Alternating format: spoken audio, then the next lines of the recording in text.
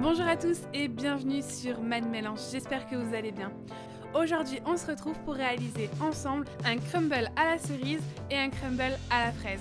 Et tout de suite place à la recette, c'est parti alors pour cette recette, on aura besoin de tous ces ingrédients et je vous mets le détail en bas dans la barre de description.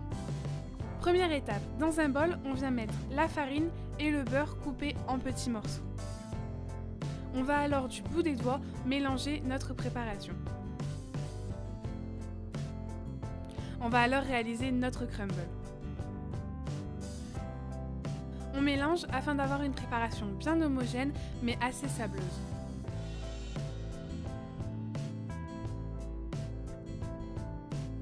On ajoute ensuite le sucre, amandes en poudre. On mélange bien et on forme comme ceci des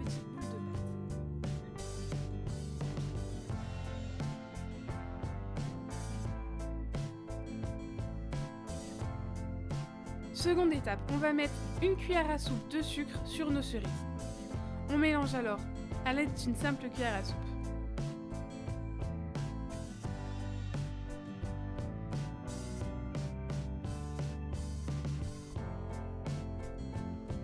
On va également faire la même chose avec nos fraises.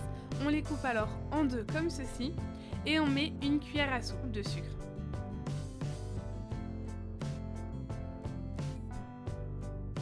On mélange bien. Dernière étape.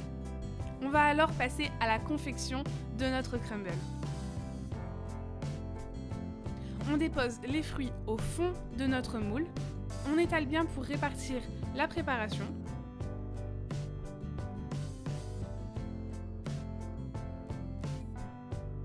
Je fais pareil avec mes fraises.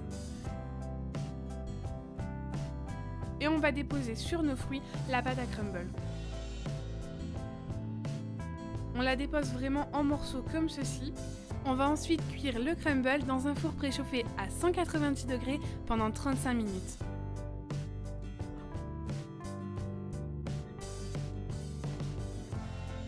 Et voilà, cette vidéo est maintenant terminée. J'espère que cette recette vous aura plu. Si c'est le cas, n'hésitez pas à la partager, à mettre un pouce bleu en bas de cette vidéo et à vous abonner à la chaîne Mad Mélange. Je vous fais de gros bisous et je vous dis à la prochaine. Ciao ciao